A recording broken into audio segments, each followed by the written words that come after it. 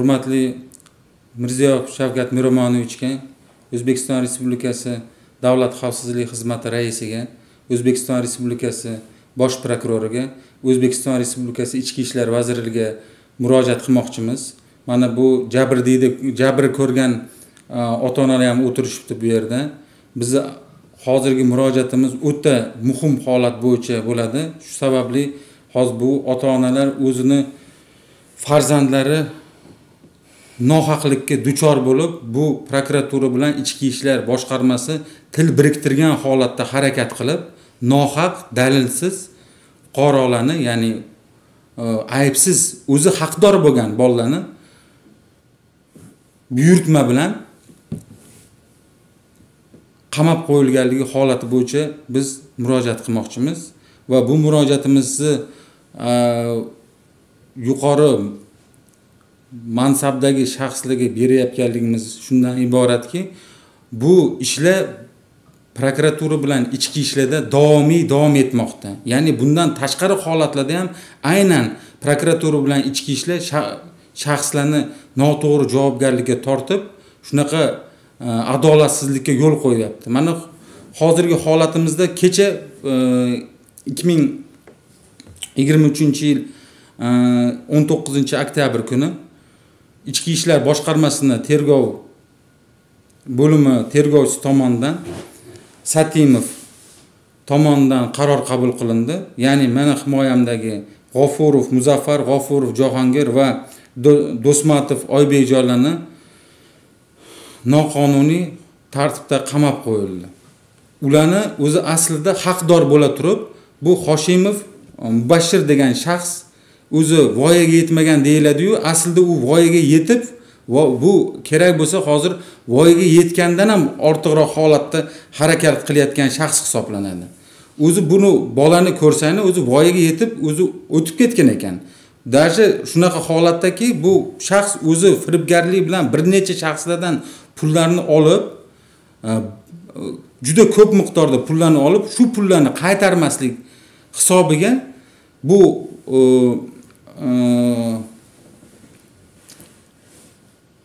shantaj qilib hozir bolalarni javobgarlik qilish bo'yicha ichki ishlar bilan prokuratura bilan til biriktirib harakat qilmoqda.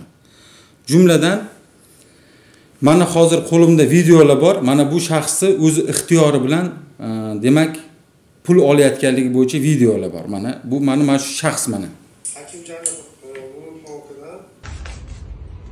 Hakimjanov umumxokidan plovdiv o'g'illarida yigirmanchi bugungi число yigirma. yigirmanchi avgust xudo xohlasa o'n uch ming sakkiz dollar o'n uch ming aqsh o'n uch ming sakkiz aqsh dollarini qarzga oldim. Yigirma to'qqizinchi sentyabr kuni xudo xohlasa qaytaraman mana tilxati mana tilxat mana naqd pul oldim naqd pul oldim xudo xohlasa o'n uch ming sakkiz yuz dollar yigirma to'qqizinchi sentyabr kuni man qaytaraman mansurov azizbekdan o'ttizinchi yil kuni to'rt ming uch yuz ellik dollar aqsh to'rt ming uch yuz ellik aqsh dollar oldim o'ttizinchi avgust kuni qaytaraman. Qarz oldim o'z xohishim bilan uchinchi avgust kuni uch ming yetti yuz ellik dollar aqsh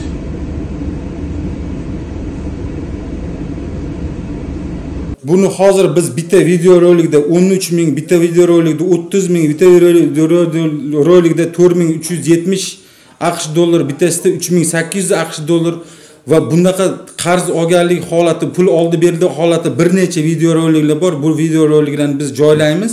Bu hozir ichki ishlar boshqarmasi tergov bo'limi aytyaptiki go'yoki bu hozirgi уже voyaga yetib o'tib ketgan shaxsni may 2023 yil may oktyabr oylarida go'yoki bizni himoyamizdagi shaxslar qo'rqitib pulini olib kelganmish. Aslida unaqa bo'lmagan va buni tasdiqlaydi hech qanaqa dalil mavjud emas. Hech qanday dalil mavjud emasku deb man hujjatlarga yozdim. Dalil mavjud emas bularni noto'g'ri qamalyapti desam hech narsaga e'tibor bermasdan bu narsani buyurtma bilan bo'layotganligini isbotlayapti. Bu holat bo'yicha man bugun prokuraturaga ariza bilan murojaat qildim. Prokuraturadagi arizamda hamma vajlarni asosli dalillar bilan keltirdim. Jumladan mana hozirgacha mana shu baxtiyor e, hoshimov degan shaxs bor. Baxtiyor hoshimov degan shaxs o'zi aslida avvallari shu prokuraturani o'rtasida o'rtakashlik bilan shug'ullangan holat bo'yicha javobgarlikka tortilgan shaxs aslida. Shu shaxsni buyurtmasi bilan amalga oshirilayotganligi aynan bu hozir ko'rsatgan mubashshir degan hoshimov buni jiyani bo'ladi. Endi bu jiyani boshqa shaxslardan allaqancha pullarni olib endi qaytarolmayotganligi sababli bu boshqa odamlarga ham pulni bermaslik maqsadida aslida haqdor bo'lgan odamlarni pulini bermaslik uchun mana haqdor bo'lsa bo'lsang ham qo'rqitib deb biz seni olib kirib qo'yamiz qamab qo'yamiz deb turib bu narsani tashkillashtirib boshqa haqdorlarni ham og'zini yumish bo'yicha ish ketyapti bu yerda buni hozir bu yerda bizga prokuratura go'yoki buni milliy davlat xavfsizlik xizmatidan topshiriq bo'lganligini bildirmoqda. Ba'zi bir holatlarda ichki ishlar boshqarmasiga borsak prokuraturadan topshiriq bo'lganini bildirmoqda. Bu prokuratura bilan ichki ishlar boshqarmasiga man ayt bir necha marta даже hujjatlarda yozib berdim. Bu bolalarni hammasini noto'g'ri ayblayapsizlar. Bu tergov biz man man misol uchun minglab ariza yozaman bitta shaxsni ustidan. Minglab. Minglab ariza yozsam bitta jinoyat bo'yicha. O'sha jinoyatni ochmasdan oylab mana asosli dalillar bilan keltirib yozaman. A buni dalilsiz shunaqa kelyaptida arizani yozyapti uni dadasi. Dadasi umuman hech narsada qatnashmagan shaxs. U endi pulni bermaslik uchun yana qaytarmaslik uchun o'zini o'g'lini yashirib qo'yyaptida yashirib qo'ygan holatida buni o'g'lini nomidan ariza yozib turib o'zi aslida haqdor bo'lgan odamlar mani o'g'limni qo'rqitgan degan ma'noda endi qarang qo'rqitgan vaqtini ham qarang. ikki ming yigirma uchinchi yil maydan oktyabrgacha qo'rqitibdi. Bu salohmonda odam bo'lib turibdi bu. Mana buni o'zini tutishini bu даже hozir voyaga yetgan voyaga yetmaganda ikki ming oltinchi yilgi bola qilayotgan ish voyaga yetib qirq birga kirib man qilmagan ishlarni qilib yuribdi bu. Savnolarda qizlar bilan yuribdi. Bu u u voyaga yetib o'tib ketibdi bu o'zi aslida. O'zi holati bo'yicha. Holati bo'yicha o'tib ketgan odamni yashirib turib bu o'zi haqdor bo'lgan bolalarni qamatib endi qamatgandan keyin bag'da yana yuz ming dollardan oshiq haqdor turibdi. Yuz ming dollardan bo'lib oshiq haqdorga man prokurorga boyangda kirib aytdim. Voy siz mana shunaqa qilib qamab qo'yib turib mana shuncha odamni qo'rqitib endi mana shuni ariza oldirmayapsizmi desam yo'q man endi ye sizni shunaqa holatda buni qamab qo'yganingizdan keyin ana haqdorlar kelmaydi sizni oldingizga bular mani haqqim bor deb hammasi yashirinib ketdi. Ha desa o'zi haqdorni qamab qo'yar ekanku bular deb. Keyin oxiri ikkitasini iltimos qilib olib kirdim o'sha yerda yonida ariza yozib berdi prokurorga. Prokurorga aytdi yozib berdi mani ko'ryapsizmi? Bular asli haqdorlar shuncha bo'lib turib shu haqdorlarni puli undira olmaslik uchun mana haqdor bo'lsang ham bundoq qilib qamatib qo'yaman deb o'zini vakolatini ko'rsatib yotibdi. O'zini vakolatini ko'r o'zini vakolatini noxolis vijdonsizlarcha ko'rsatyapti. Prokurorga aytdim prokuror mana sizga ariza berdim gumon qarori bekor qiling noqonuniy qabul qilib qo'yibsiz. Mana sizga yettita punktda keltirdim. Yettita punktda keltirgan narsamni nimaga siz ko'rib chiqmaysiz? Nimaga buniga vaqtida javob bermaysiz? Desam endi man tergovni ko'rib chiqaman sekin sekin deydi. Ya siz sekin sekin ko'rmang. Mana siz hali tergov boshlanmasdan tushuntirish xatini olib turib hech kimni so'roq qilmasdan shuna uchta bolani shuna olib kirib qo'ydingizku. Shundoq tezlik bilan ularni ham javobgarlik qilib tortib olib kirib qo'ying bu mana mana уже ikkita ariza paydo bo'ldi sizda. Ertaga yana yana aytib qo'yadi manga prokuror endi hozir e, aytavering tashqarida o'tirib kirolmayapti desam endi aytavering qo'rqmasin. E, qo'rqma nimaga qo'rqmaydi u? Haqiqiy haqdorni qamab qo'ygandan keyin nimaga qo'rqmaydi? Hozirgi holat bo'yicha biz mas'ullardan iltimos qilib qolamiz. Mana ota onalari bu yerda aytib nima qilishibdir mana hozir aslida buni e, bular prokuraturada o'ta bir haligi jig'i biyron bo'lib gapirishdi. Hozir kamerada sal nima qilishib turishibdi. Lekin man bitta narsani iltimos qilaman. Haqiqiy adolatli tergov bo'ladigan bo'lsa uni u tergov boshlanishda taqqa kirib qo'yilmaydi. Uni ko'radi oxirigacha ko'radi. Oxirigacha ko'radi. Qani? Oxirigacha ko'rmasa adolat aniqlash imkonsiz qoladi. Bu shu bolalarni aybsizligini isbotlaydigan yetarli dalil mana yerda videolar to'lib yotibdi. Hozir yana videolar kelib yotibdi. U bolani qilgan ishlariyu boshqalar kelib yotibdi bu yerda ha buni dalil sifatida olib hozir prokuror ana shuni ko'rsatdim man hozir olib borib. Hali tergov olib borayotgan odamda o'zida bu videolarni bilmas ekan. И ana shunaqami ha? Kelsin mayli yozib bersin deydi. Iya.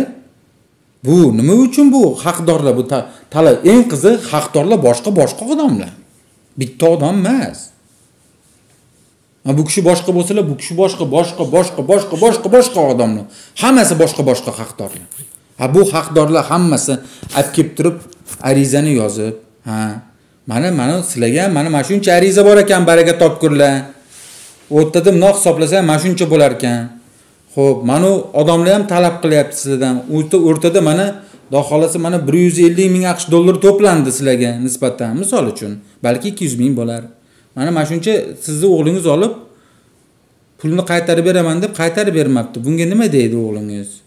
Chaqiringchi ha ikki ming oltinchi yil voyaga yetmagan ha voyaga yetmagan u turishini qarang mana videolarda qarang. Aysh ishratni ko'ring mana uni.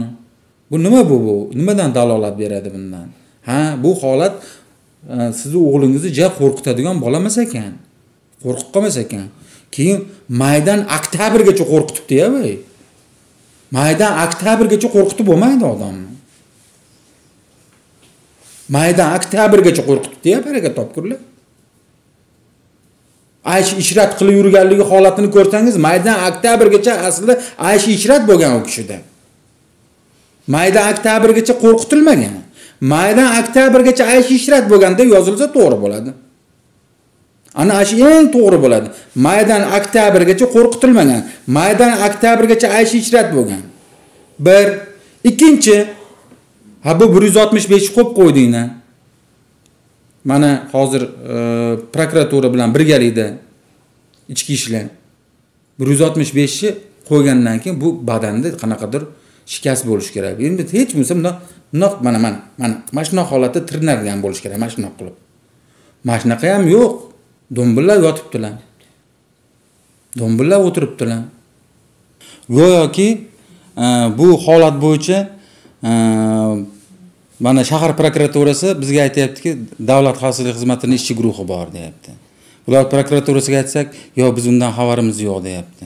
Bular hozir bir prokuratura davlat xavfsizlik xizmatini ro'kach qilyapti. Aslida kichkina bu bolalarni o'rtasidagi munosabat pul oldi berdisiga viloyat davlat xavfsizlik xizmatini umuman daxli yo'qligini kichkina yosh bola ham biladi. Buni prokuratura bilan ichki ishlar o'zi qilyapti. Man o'shanga aytdim iye to'xtab turing. Bu uchta bolani olib kirayotganda siz rozilik bermadingizmi? Buni hozir hamma biladiku o'n oltinchi bo'limni boshlig'i bunga rozilik berishini.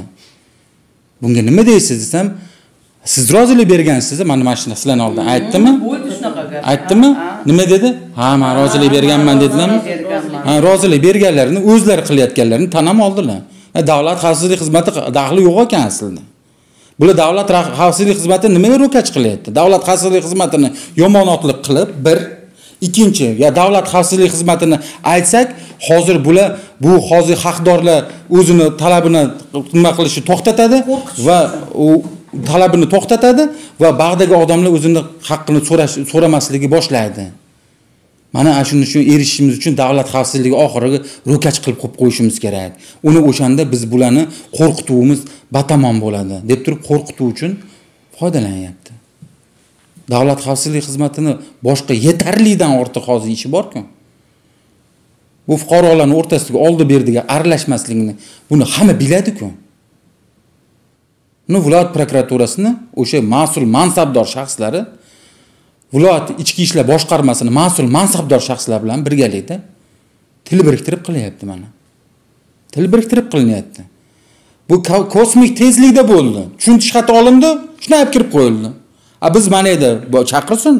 Kerak bo'lsa biz bu bu bu bu bu holatlar bo'yicha qanaqa ariza yozayotganlarimiz boshqa masalalar bo'yicha biz bilan dasta qilib dasta qilib dalil isbot bilan har bitta yozgan gapimizga va har bitta harakatimizga dalil isbot bilan olib kelib qo'yamiz. Lekin ular harakat qilishmaydi. O'zlarini manfaati bo'lsa harakat qiladi. Bundan manfaatlilik holati kelib chiqyapti shundan. Nimaga? Ha chunki hali bu tergov boshlanib buni yuritib uch oy ha chaqirib hammani chaqirib olib dalillarni olib to'plab oxiri bitta narsa ro'yobga chiqqandan keyin bir harakat qilinadigan ish ediku. Shunaqa olib kirib shunaqa tezda qilish kerakda bu ishni nimaga? Chunki buyurtmachi shuni talab qilgan. Shu sababdan mana hozir mana man himoya qilgan shaxslarni ota onalari ham ko'rishibdi mana g'afurov muzaffar jahongir do'smatov oybek mana onalari o'tirishibdi. Biz hammamiz iltimos qilib qolamiz. Mana shuni adolatli qonuniy ko'rishinglarni iltimos qilamiz. Bu juda chigal ish emas bu. Buni olib kirib hamma odamlarni xolis hech kimni bir e, bunaqa olib kirib qo'yib qo'rqitib shantaj qilmasdan to'g'rima to'g'ri gaplashsa o'zi shunaqa haqiqat aniqlanadigan ish bu. Bir murakkab ish ham emas bu. Odamlarni bundoq qilib olib kirib nima qilib qo'yadigan ish ham emas. Shunga iltimos qilamiz adolatli qilib mana shu bolalarni chiqarib tergov davom etaversin mayli. Tergov qilinsin. Va bu tergovda adolat bo'ladigan holatda mana shuncha video aslida hoshimovlar aybdorligini tasdiqlaydigan videolar turibdi. Shularni ko'rib chiqsin. Mana bugun prokurorimiz aytdi. Ularnikini ham olib kelinglar biz ko'rib chiqamiz. Endi ko'rib chiqarkan. Bu uchta bolani olib kirgandan ko'rib chiqargan olib kela olmaymiz. Qolgan haqdorlar bizni ham olib kirib qo'yadi deb qo'rqyapsa olib kelaveringlar deydi. Shuning uchun buni haqiqiy haqiqiy adolatni ro'yobga chiqarish uchun uchta bolani chiqarib tergov davom etsin. Tergovda davom etib bu bolalar ham qatnasin tergovga. U boshqa odamlar ham qatnashsin. Hali mubashir bir marta ham bormabdi kecha o'zi tergovchi manga aytyapti. Bir marta ham kelib o'zi jabrdiyda hali bir marta ham tergovga bormabdi. O'zbekiston respublikasi bosh prokurori yo'ldashev dan va ichki ishlar vaziri bobojonovdan biz iltimos qilib qolamiz va qolaversa aynan bu shaxslar e, ya'ni quyi pog'onadagi prokuratura idoradagilari e, davlat xavfsizlik xizmatini ro'kach qilayotganligi uchun davlat xavfsizlik xizmati raisidan ham iltimos qilib qolamiz. Buni alohida nazoratga olib bu ishni respublika miqyosida buni ko'rib chiqib tezkor tergov guruhini jo'natishingizni ham iltimos qilamiz.